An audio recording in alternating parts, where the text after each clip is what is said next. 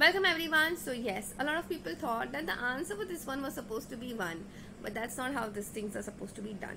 See, 15% tip on $15. Okay, so how do we do this?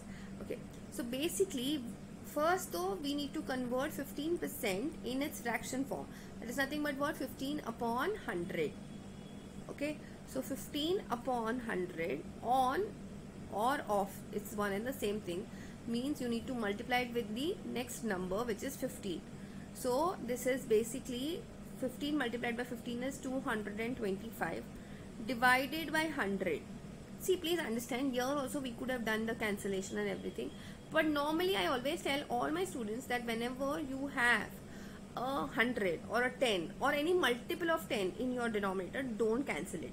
Because it's very easy to then do the division and the answer for this one was supposed to be 2.25 so we can now say the answer for this one was supposed to be 2.25 dollars.